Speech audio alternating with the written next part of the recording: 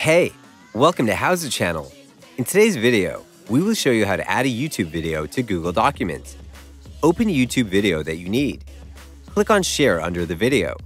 A pop-up window will open. Select the link and click on Copy. First, we will show you how to insert it into Google Slides. Open Google Slides file that you need. Go to Insert tab at the top toolbar.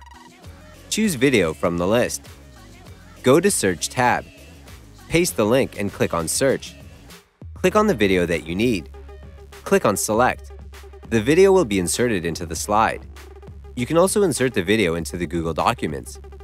Open Google Documents file that you need. Click on Insert at the top of the window.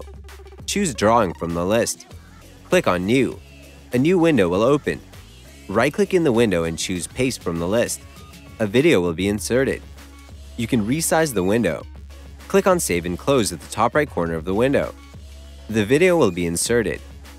Hover over the video and you will see a small tools panel. Click on Edit. Now you can play the video. That's it.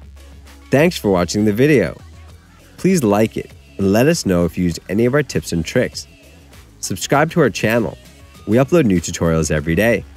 See ya!